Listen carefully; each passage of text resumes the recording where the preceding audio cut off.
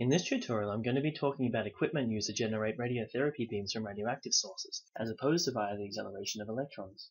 Radioactive sources in radiotherapy are generally used in either brachytherapy, which is putting a source close to or inside a target, or teletherapy, which is treating a target using a beam generated at some distance away from the patient. The general term used to describe treatments that are carried out using a beam that's generated outside of a patient is external beam radiotherapy.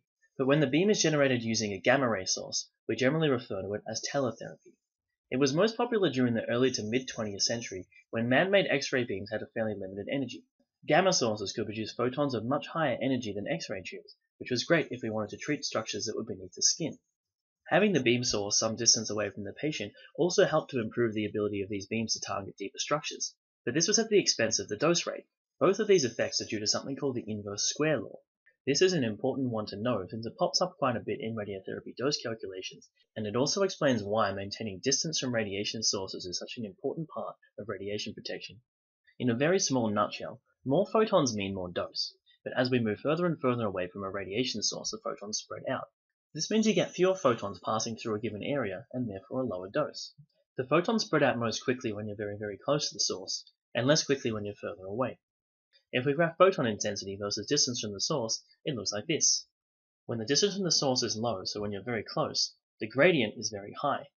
So the dose drops off very quickly with distance. When you're further away, the gradient is low, so the dose drops off much more slowly with distance. The relationship is the dose decreases as the square of distance from the source increases. That's why the curve is this shape. You'll often see it written as dose varies with 1 r squared, with r being the radial distance from the source. This means that if you double your distance, your dose is decreased by a factor of 4. If you triple your distance, your dose is decreased by a factor of 9. If you quadruple your distance, your dose is decreased by a factor of 16, and so on. As a beam passes through your patient, the number of photons passing through a given point decreases due to attenuation and due to spreading out by the inverse square law. So if the source is close to the patient, the inverse square law is going to make the dose fall off very, very quickly. If the source is further away, the inverse square law is going to make it fall off much more slowly. So this is why having a beam source further away from a patient enables it to deliver more dose at greater depths. The design concept of teletherapy units is incredibly simple. It's basically a lump of radioactive material surrounded by a shielded container with a hole in it that can be opened to release a beam. In the first half of the 20th century, we were limited to naturally available radioactive materials. The one that was used most prominently in medicine was radium. Radium has always been impractically expensive to produce in bulk, because it involves extracting trace elements from large amounts of other materials such as mining waste. It also has an extremely long half-life of 1600 years. The half-life is the amount of time it takes for a sample of material to emit half of the radiation that it's capable of producing. So it's an indicator of how quickly a sample of material produces radiation. An isotope with a long half-life like this one will produce radiation very slowly. That means that if you want to get a high rate of photon emission, you have to use a lot of it, and sources can become quite large. If we want to use a radiation source to treat a patient over here, all the photons produced over this side of the source have to pass through a whole lot of metal before they can reach the patient, and a lot of them will be absorbed. This means that large sources are very inefficient, which means the same thing for radioisotopes that have a long half-life. After World War II ended, a lot of effort went into finding non-destructive uses for all the nuclear technology that had been produced in the last 5 to 10 years.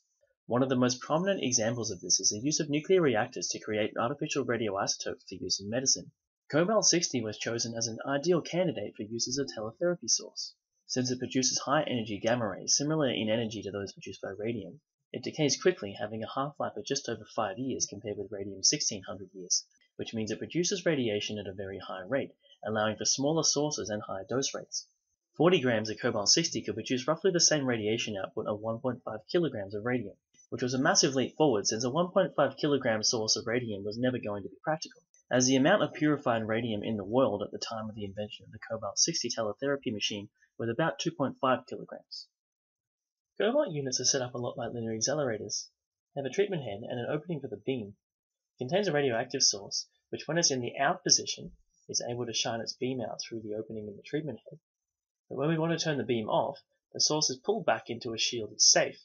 Beneath the beam opening there's a system of mobile shields or jaws which allow us to shape the beam. But that may well be the most complicated part of the machine. The whole thing is basically a radiation shield with a hole in it.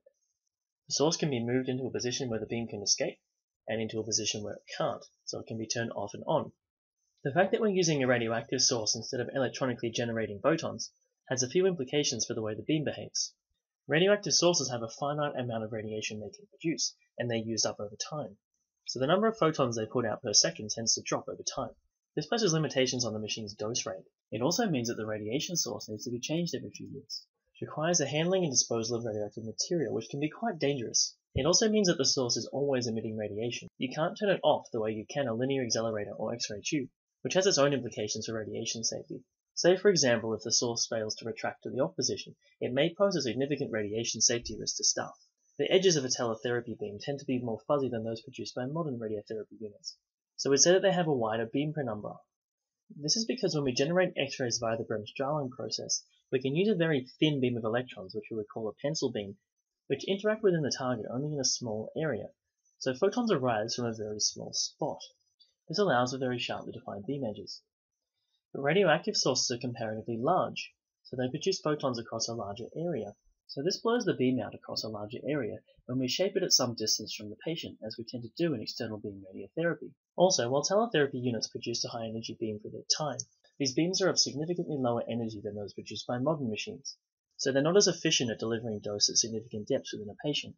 On the plus side, though, linear accelerators, which are the radiotherapy machine of choice across much of the world, are extremely complicated, while teletherapy units are not. This makes cobalt machines much easier to maintain, so they may be a better choice for using departments in parts of the world where maintenance could be problematic.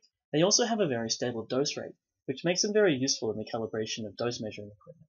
I've mentioned a couple of times already that photon beams produced via the Bremsstrahlung interaction have an energy spectrum that increases linearly as the energy decreases, so they're mostly composed of low energy photons. This means that the average energy of a beam tends to be a lot lower than its maximum energy. The spectrum of beams generated via gamma ray emission tends to look very, very different. Gamma sources emit photons at very specific energies. Take cobalt-60 for example, which emits photons at energies of 1.33 and 1.17 MeV. This pure emission spectrum, so if a beam was able to get out of a teletherapy machine without hitting anything, has quite a high average energy because it doesn't have that low energy Bremsstrahlung component. But the beam isn't actually able to leave the unit without hitting anything, so the spectrum tends to look a bit more like this. So some of these 1.33 MeV photons are going to hit stuff as they leave the unit, so they'll be scattered and lose some of their energy. So the height of this 1.33 MeV peak decreases, and a lower energy component is added to the spectrum. The same happens with the 1.17 MeV peak. It interacts so the peak height is decreased and there's more low energy component added. If we add the total spectrum together, it will look like this purple line here. The region between the 1.33 and 1.17 MeV emissions remains the same, because none of the 1.17 MeV photons can gain energy and add to it. The region at and below the 1.17 MeV peak is increased, since the two low energy scattered components of each photon peak add together.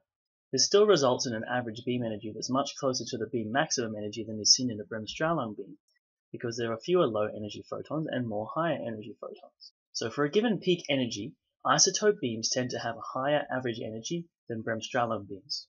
Cobalt-60 isn't the only artificial isotope that's been used in teletherapy units. Cesium-137 has also been used as well, but much less often.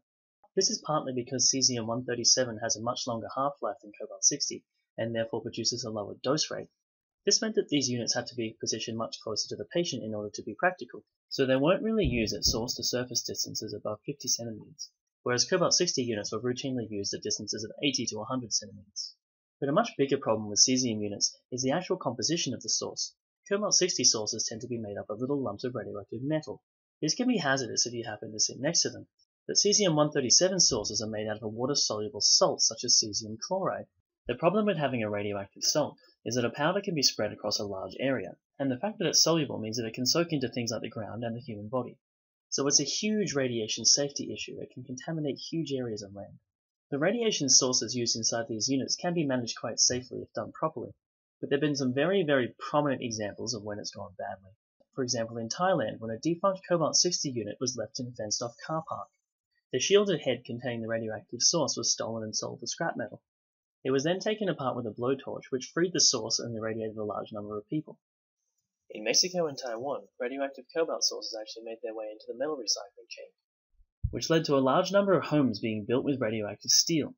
Some apartments in Taipei were inhabited by unwitting occupants for as long as 20 years. In Brazil, a cesium-137 unit was left unattended in a partially demolished hospital. It was again stolen for scrap and dismantled. The source assembly itself was also ruptured, freeing some of the powder. Having radioactive powder floating around is extremely dangerous, but this was made even worse when it was discovered that the powder glowed blue in the dark. Friends and family were invited over to see it and even given samples to take home. This resulted in massive doses of radiation to those directly affected, as well as smaller doses to a large number of people in the surrounding area. In Spain, a cesium source made it unnoticed into a furnace in a metal recycling plant, which led to the release of a radioactive cloud that was detected across several countries. Hazards like these can be avoided by properly keeping track of sources, or by using machines that don't contain radioactive material. Incidents like these prompted the development of a new radiation warning sign to be placed inside of these units, which better encompasses the danger associated with taking them apart.